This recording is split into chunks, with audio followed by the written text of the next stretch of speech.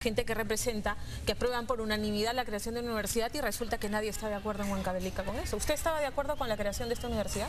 En, en Huancavelica todos están de acuerdo con la creación, sino, pero dicen... Bueno, no todos, porque si no, no hubieran tres muertos y 40 heridos. Eh, los que están protestando dicen que la universidad dice que está de acuerdo con la creación, pero con su propio presupuesto. Eh, eso es el, sentir de la, rectora, el vicerrector, los, representantes de los estudiantes de la Universidad Nacional de Huancavelica, ¿no? el señor Ochoa también ha manifestado nosotros no estamos en contra de la creación, sino que nosotros estamos en contra del que nos quiten el presupuesto.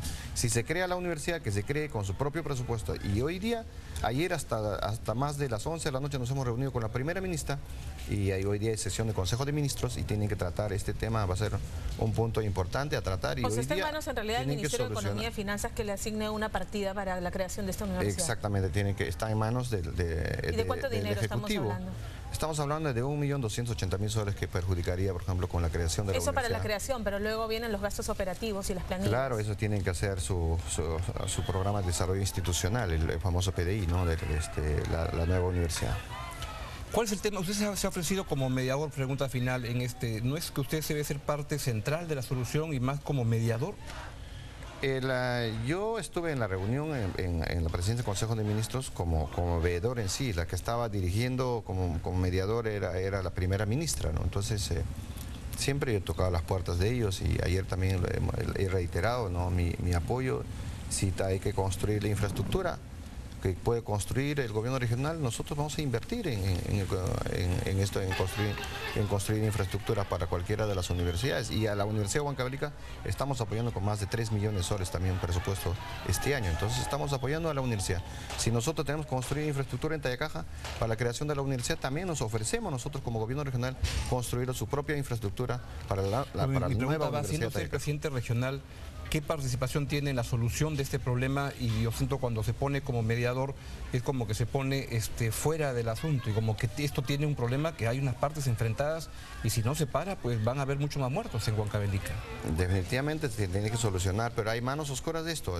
no solamente... Son las manos eh, no, no puedo decir en su momento, vamos a, vamos a decir los nombres porque esto no se puede quedar ¿Y qué es lo que están pretendiendo más allá como tema de fondo? ¿Qué es lo que quieren? ¿Es, ¿Usted lo que intuyo que está diciendo es que quieren desestabilizar su presidencia? Exactamente. ¿Y que este, sectores que perdieron la elección son los que se lo quieren tumbar? Que es un clásico en, los gobiernos regionales donde alguien gana y el grupo que perdió al día siguiente asume que su trabajo es comenzar a trabajar para derrocar a la persona que está en el poder. Exacto. Yo tengo cinco meses de gestión y luego en cinco meses de gestión estoy a punto de culminar el estudio de factibilidad de asfaltado de las principales vías de Huancavelica, Lircay, Huancavelica, Santa Inés, Rumchaca, a Castro Virreina Pámpano, Imperial Pampas, el hospital de Huancavelica, cero muerte materna en Huancavelica. De repente eso no les gusta a algunos políticos, ¿no? ¿A quiénes no les gusta? Eh, los que han perdido las elecciones. Ellos se han juntado y algunos ¿Son de desde algún partido en específico? Eh, movimientos, movimientos regionales. no hay un partido mayor, grande, eh, nacional que esté detrás. algunos se camuflan también, pertenecen a partidos políticos nacionales, se camuflan a movimientos regionales. De repente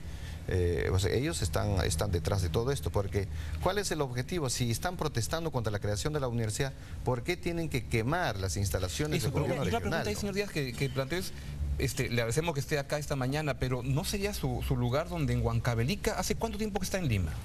Eh, estoy dos semanas. Dos semanas. Y el pleito, este, esto va increciendo, la candela sale, los muertos ocurren. Este, le pregunto con todo respeto, ¿qué hace acá y por qué no está en Huancavelica resolviendo el problema? Por eh, interno eh, nos no, dice el que, tema, que, hay gente que está llamando y que dice que usted no está realmente involucrado en el tema porque ha estado aquí en Lima y no ha estado en Huancavelica. No, el tema es, este, yo estoy buscando solución, buscando, por ejemplo, conversar, convencer al presidente del Congreso de la República, a la primera ministra. está, en Lima y no está allá. La solución, acá que surge el problema. Eh, señores periodistas, la solución está en Lima. Protestando, quemándonos, matándonos en Huancavelica, en Tayacaja, no vamos a solucionar. La solución está en Lima. Los congresistas que usted señala que promovieron la creación de la universidad, ¿promovieron la creación bajo qué modalidad? Eh, ¿Quitando presupuesto a la Universidad de Huancavelica o con su propio presupuesto? ¿Cómo iba la propuesta? Huancavelica, la Universidad de Huancavelica tiene su sede en Pampas Electrónica y Sistemas. Es, eh, allí el presupuesto es 1.280.000 soles aproximadamente, con ese presupuesto. Sí, no, pero la pregunta es, ¿estos congresistas plantearon la creación con un presupuesto propio o este, restándole eh, presupuesto no, en base al presupuesto e infraestructura de la sede de la Universidad de Tayacaja.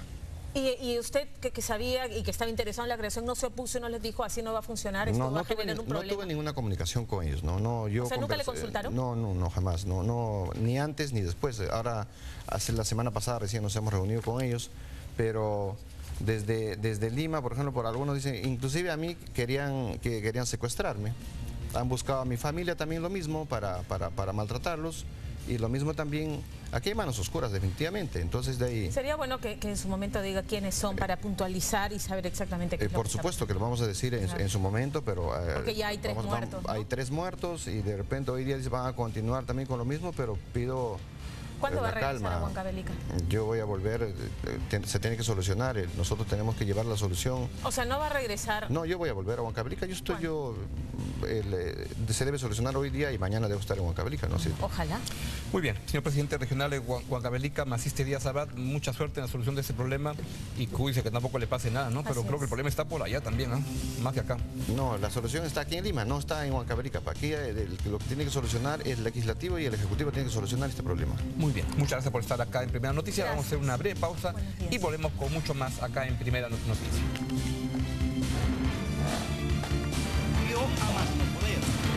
La alcaldesa de Lima, Susana Villarán, visitó los Vamos estudios... Vamos a regresar con la visita que hizo